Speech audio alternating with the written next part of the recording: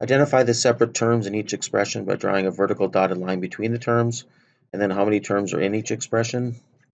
So terms are separated by plus or minus outside of parentheses, outside of grouping symbols. So our term, first of all, we get a our negative sign 12 minus 5. This negative sign indicates a new term. So as we go through the plus and the parentheses is not a new term, it's inside the grouping symbol. The, the next one, the plus sign is outside, so this would signify a new term. So here we have three terms.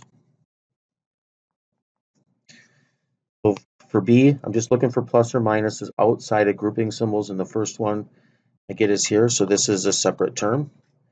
The next one is here, this starts the next term.